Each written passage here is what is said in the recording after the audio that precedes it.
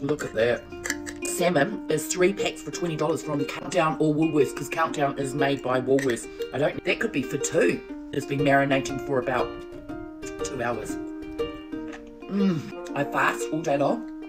I had a naughty protein bar, the pineapple one, this morning, and half of a glass of their protein shake with the bean, vanilla bean in it and the collagen C. It's bloody delicious. And then this is my dinner. It's four o'clock. My window of eating is about two till seven. So I haven't eaten all day. I had half a, um, you know, the protein muesli bar, but this is delicious. So try, it's Logan. He's really popular on social media and TikTok, and he's a good cook. And he does this trend, and it's gone viral.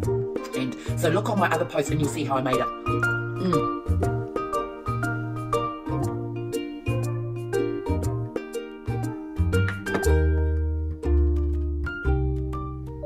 Got some Dookie boy? Hey, what's up?